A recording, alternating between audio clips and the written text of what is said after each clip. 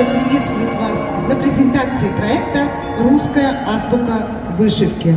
Мы всегда рады э, любому сотрудничеству, и мы, э, в свою очередь, сами готовы поддерживать э, ваши проекты э, вот, э, нашими, да, и нашей тоже такой поддержкой. И э, нам, э, вот помимо всего прочего, очень важна информационная поддержка, да, Пока у нас в основном работает только сарафанное радио, но также для нас очень важна поддержка серьезных средств массовой информации. И я очень благодарна и признательна тем, кто нам такую поддержку уже оказывает.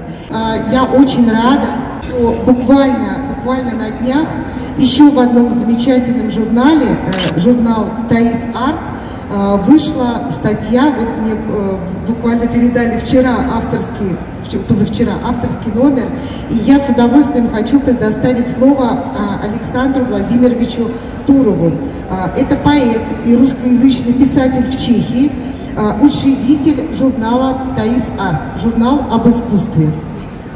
Светлана, большое спасибо за такие лестные слова. Конечно, я не поэт. То есть писатель, да, но поэт э, то, тоже пишу, но э, моя поэзия еще далека от э, тех идеалов совершенства, которые мы видим на гобеленовой жизни мастериц Светланы Дианы.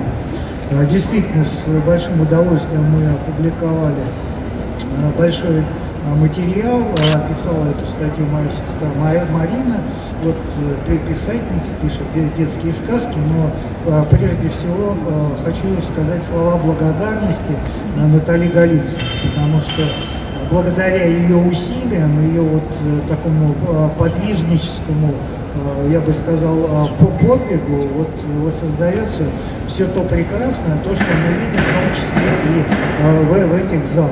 Да? Вот я немножко сидел и задумался, да, вот вы представьте, ну, мир, мир несовершенный, да, вокруг войны, бедствия, люди голодают, страдают, да, и вот э, мастерицы берут э, в свои руки иглу, и вот этой иглой исправляют наш несовершенный мир.